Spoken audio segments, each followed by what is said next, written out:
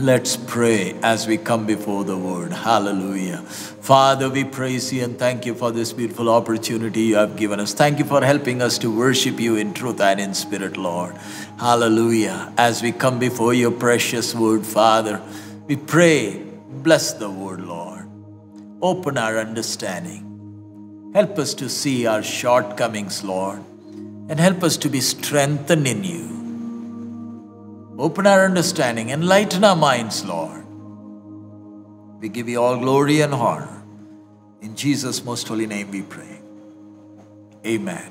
Amen. I praise God for this beautiful time that God has given us. And for our meditation, let's turn to Book of Revelation, chapter 19, verse 10.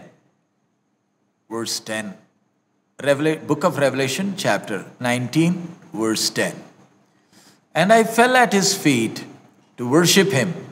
And he said unto me, See thou do it not. I am thy fellow servant, and of thy brethren that have the testimony of Jesus. Worship God. For the testimony of Jesus is the spirit of prophecy. Last week, we looked into this verse, and I believe the Lord is helping us to learn His word, word by word. Each word has been inspired by the Spirit of God. And here we read the last part for the testimony of Jesus is the spirit of prophecy. Testimony of Jesus. That means prophecy. Prophecy is the Spirit of God talking to man in a language that man can understand. There's a gift of tongues that needs interpretation. On the other hand, we have the gift of prophecy. The difference between the gift of tongues and the gift of prophecy is gift of tongues is also God speaking to man. And for that, the gift of interpretation is required so that there are people who might not accept the word of God when it is spoken in a language that they understand. That's why to give them a sign that what you are hearing is not man speaking, the gift of tongue operates with the gift of interpretation. But then when you look at the gift of prophecy, that's also God talking to man. Unknown tongues is man talking to God, gift of tongues is God talking to man. So when God is talking to man in a language that man understands, the spirit of the testimony of Jesus is the spirit of prophecy. That means when God talks to man, Christ is being uh, Christ is being raised or that means Christ is glorified. What does it mean? Christ is glorified. In Christ, we see God the Almighty. God manifested Himself through Christ Jesus. So, when it is when the gift of prophecy is operating, the central focus is that Christ be glorified.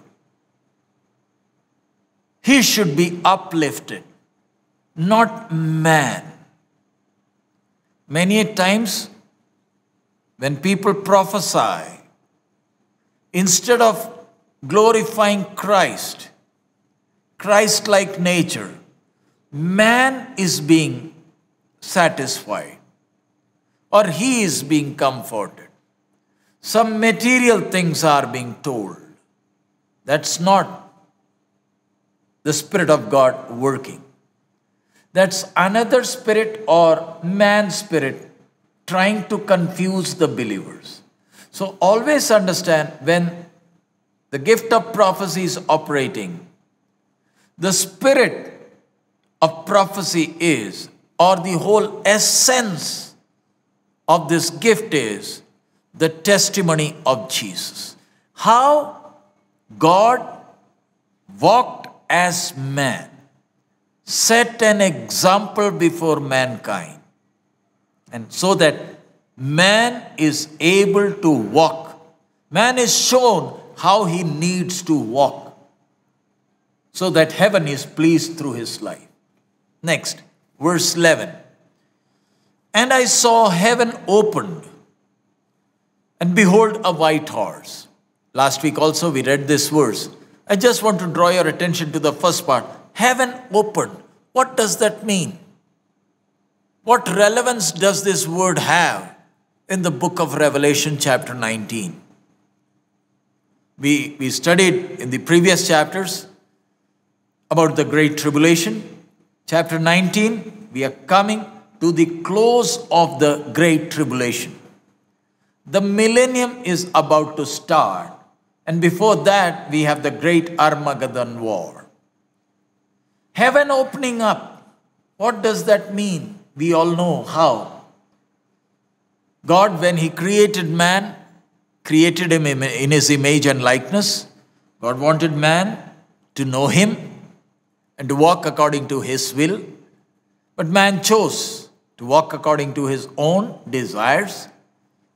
God allowed that to happen so that man comes to a realization as to who he is and how great his creator is. But when man chose to walk on his own, sin caught hold of him. And since that day, he is a slave of sin and Satan is ruling over man. And since then, man is trying to walk but since he is a slave of sin, he cannot walk as he wants to walk. Sin fulfills its desires, its lust through man. And we see how God did not give up on man, gave him a time so that he can walk on his own, see for himself that he is not able to walk. And since he is a slave of sin, and he cannot get deliverance on his own, we see the grace of God manifested in Bethlehem and on the cross. Heaven came down because God's righteousness needs to be fulfilled. God cannot forgive sin. God's justice demands that sin needs to be punished. That's why, in God's grace, He comes down takes the form of man, takes our place, and he receives the judgment of the Holy God upon himself, so that man is delivered from that judgment. He is saved from that judgment. And then the door is open before man. Now we see Christ hanging on the cross between two thieves what does that show?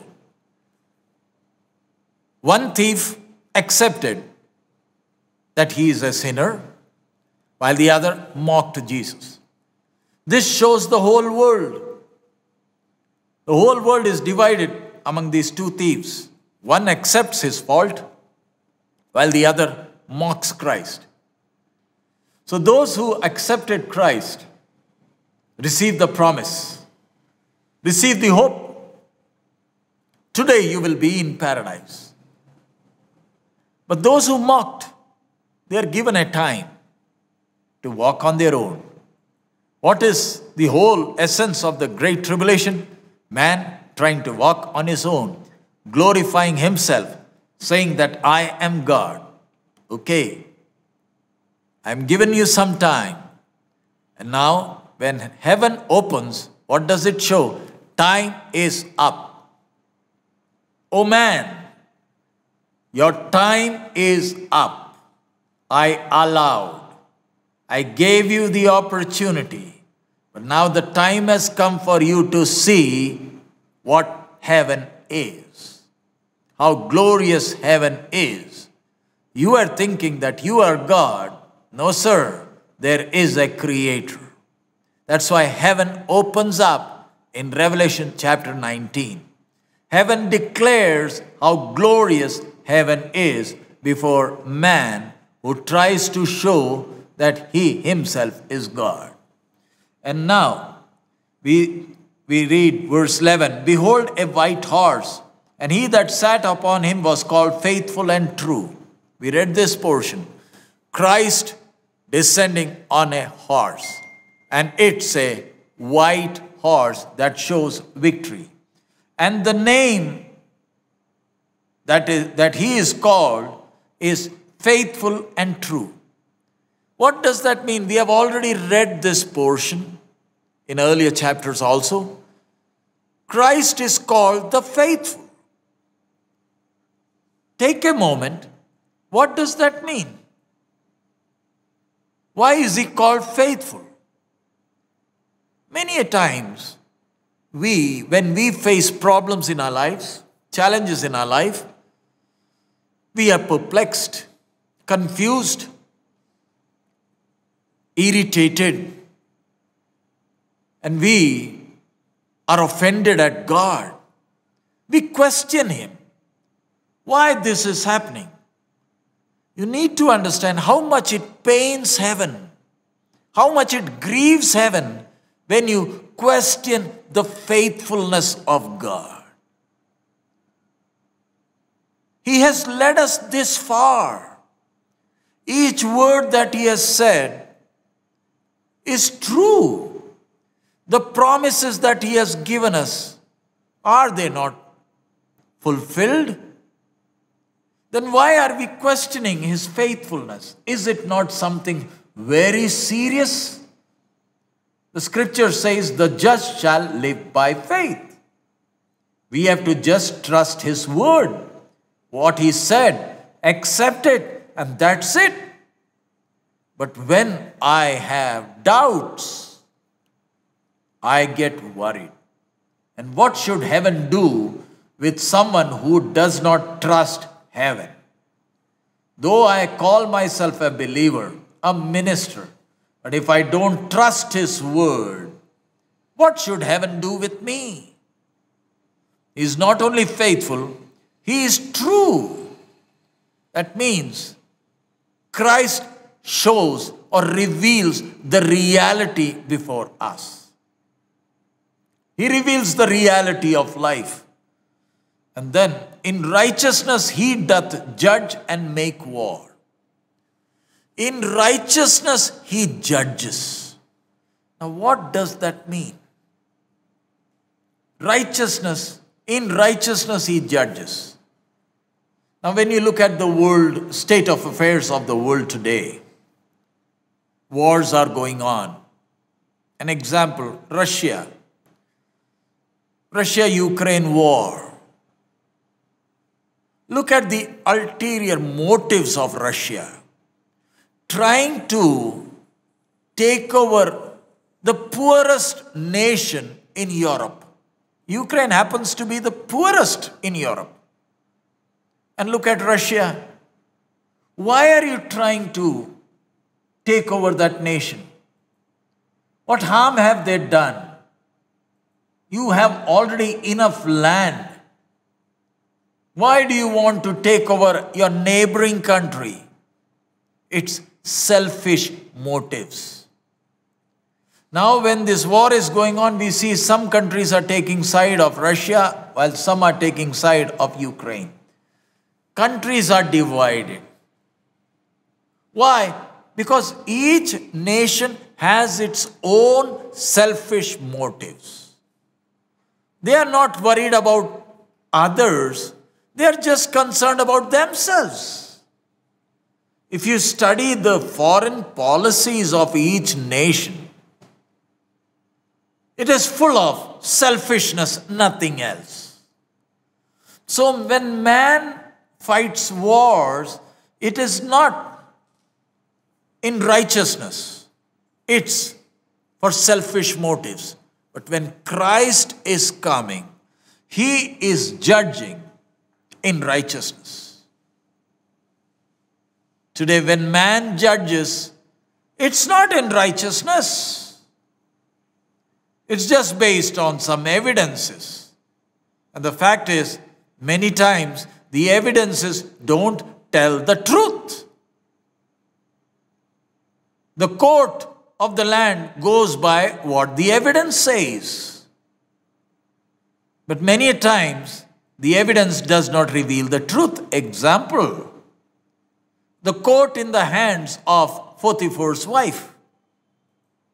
In the court of the law, the court is there, and the court will say, Yes, Joseph is guilty.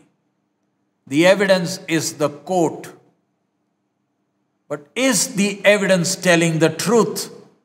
It's far from the truth. At times, not always, at times, evidence doesn't tell the truth. But the courts of human beings, they go by evidence. But God, He judges in righteousness. Now, what does in righteousness mean? Judges in righteousness. Heaven is not rushing towards judgment. The time has come to judge the world. The world has seen, experienced the grace of God. The world has experienced the mercy of God. They have seen the love of God manifested on the cross. And still they chose to walk on their own. Heaven is not rushing, but the time is up. Man, you had enough time. Now a time has come, no more grace, no more mercy. Now the time has come to be judged. How many of us have seen the other side of Christ? Christ the judge. We are like a Christ who is born in the manger, who loves, who heals the sick, sick, cares for the needy, dies on the cross for the sinners, who suffers in our place. We are like such a Jesus. But how many of us will accept a Jesus who judges? The one hanging on the cross. Yes, once he cried out, Father, forgive them, for they know not what they do. But his second coming is not in Bethlehem. He is coming to judge in righteousness. May the Lord help us to go into the depth of those words. To judge in righteousness. Not only that, and make war. The one who said, Show the other cheek. The one who cried out from the cross, Forgive them, for they know not what they do. He is coming for a war. With whom? Not with Satan. Christ is not coming to fight with Satan. He is coming to coming for a war with man who has been created by God. Creator coming for a war with his creation. May the Lord help us. The same Creator once came to wrestle with John. Not to fight with John, but to wrestle with him. John did not recognize him initially, but later on, by the time he realized with whom he is wrestling, it was too late. He had started to limp. The same God came and had food with Abraham. But here, he's not coming to hang on the cross, he's not coming to wrestle, he's not coming to sit and eat, he's coming to, for a war with mankind. Look at the anger of heaven. Why? I created you, gave you the freedom for you to choose you need to learn that you cannot walk on your own. Time and again, you have proved that you cannot walk on your own, but still, you don't want to surrender. This creation is mine. I created you. And that great war of Armageddon is about to start. Here, verse 12 His eyes were like a flame of fire. Now, what does that mean? We have already studied. He searches our hearts. Nothing is hidden from his eyesight. Nothing is hidden, sir. He sees everything. How can we hide our life from the one whose eyes are like a flame of fire? Let's surrender ourselves as we are, humble ourselves. He searches our hearts. He knows our thoughts, our desires. As we were praying, I shared with you, may the Lord help us to search our hearts. Is everything that's therein, is it Christ like? Is heaven pleased with my inner thoughts and my desires? Next, and on his head were many crowns. Not one crown, many crowns. And these crowns are the royal crowns. That means it shows that he is the King of kings and the Lord of lords. King Charles is just a king of United Kingdom. And there are 196 countries. You're just king of one kingdom, sir. The one who is coming on the white horse, he is the King of kings, Lord of lords. He is the sovereign. And then, and he had a name written that no man knew but he himself. The Spirit of God does not reveal the name that is written. It says only He knows the name that is written. What does that mean? Usually, when I call my wife or my son or my daughter, when I call them by name, they know that they are being called and they know who is calling them. That awareness is there. But here, this name is not revealed to anyone. What does that mean?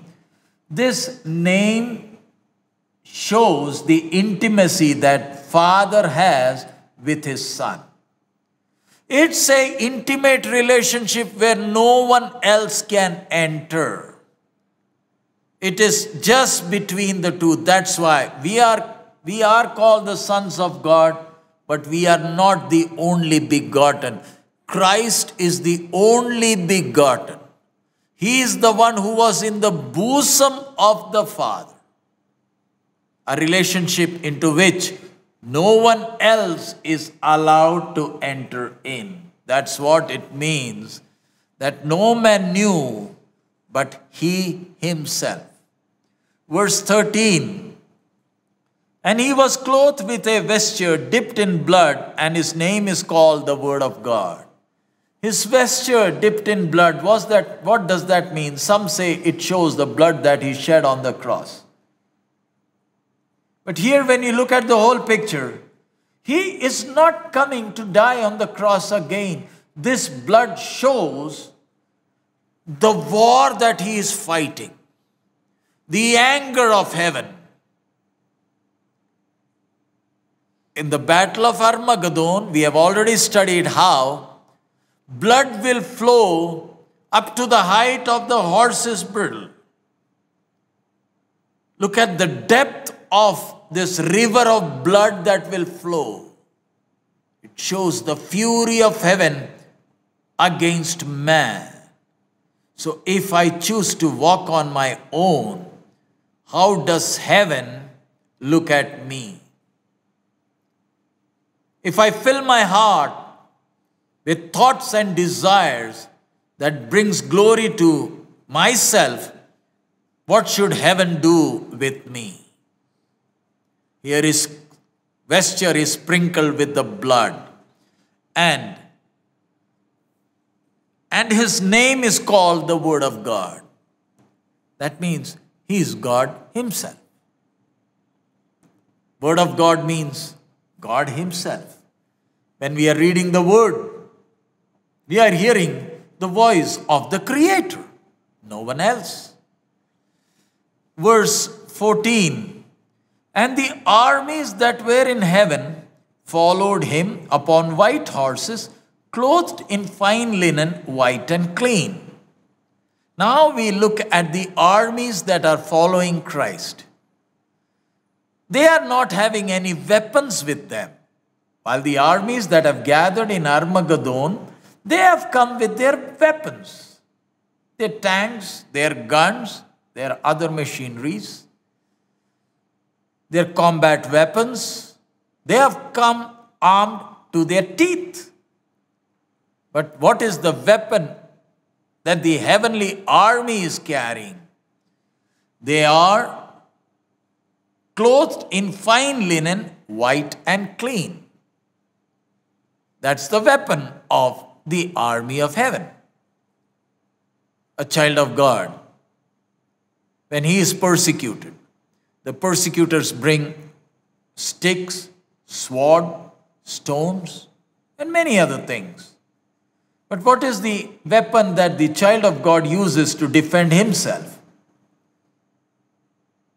His closeness with God, his work, white linen, fine linen, white and clean, his closeness with the Almighty, the intimate relationship that he has with God, the love that he has for God is the only weapon that the church has.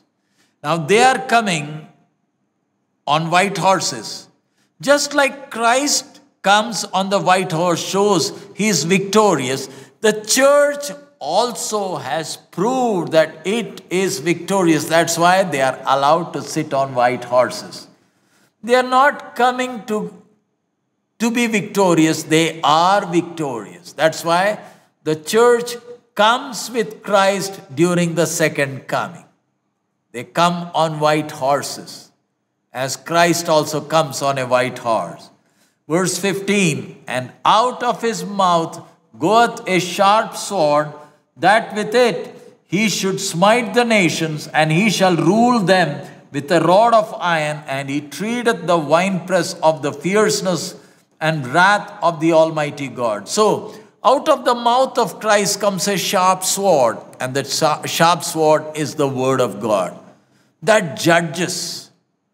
Look at the power of God's word. The power that's there in the name of Jesus. When we lay our hands on the sick or on the demon possessed or evil spirit possessed, we just say, in the name of Jesus Christ.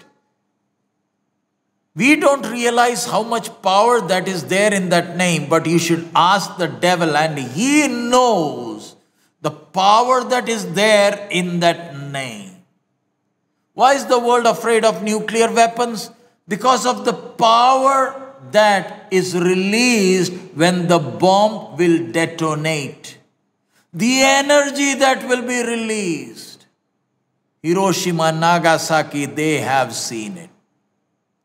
So when that sharp two-edged sword is used, you can understand the power that will be released before which mankind will not be able to stand.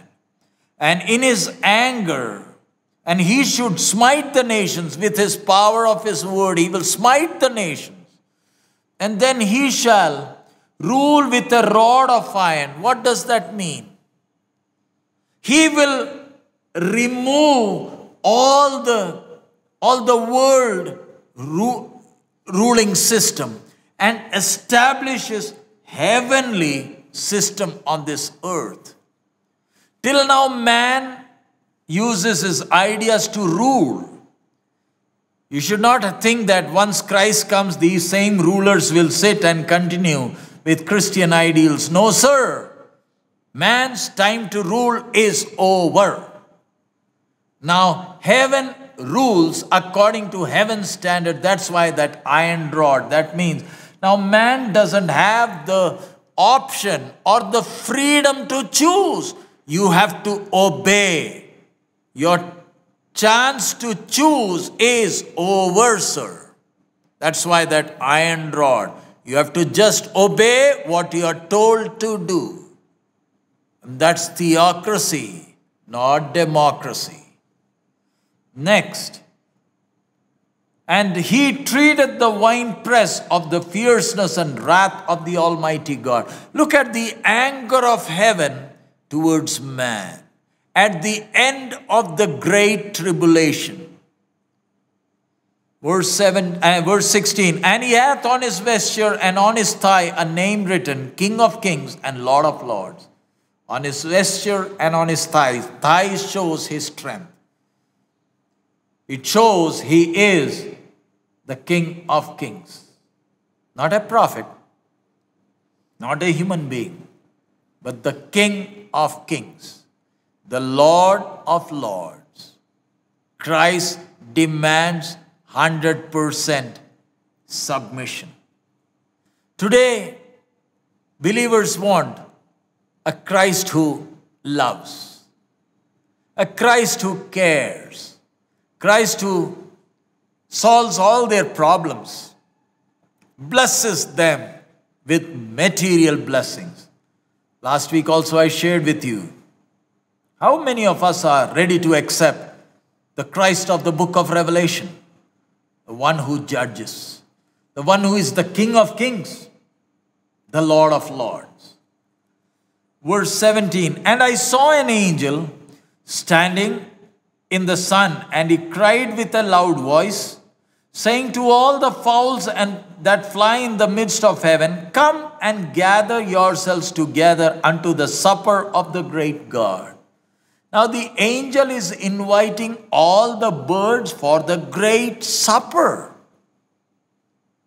That I may eat, that he may eat the flesh of kings and the flesh of captains and the flesh of mighty men and the flesh of horses and of them that sit on them and the flesh of all men, both free and enslaved, both small and great. So here, the birds, they are invited for the great supper. Why? The great slaughter that takes place during Armageddon. Immediately after that, the millennium starts. There's no time to bury these who are dead. The great slaughter. To clean up the land, the birds are invited to feast on the bodies of kings, captains, mighty men, horses, and the bodies of them that, is, that sat on the horses. Next, verse 19.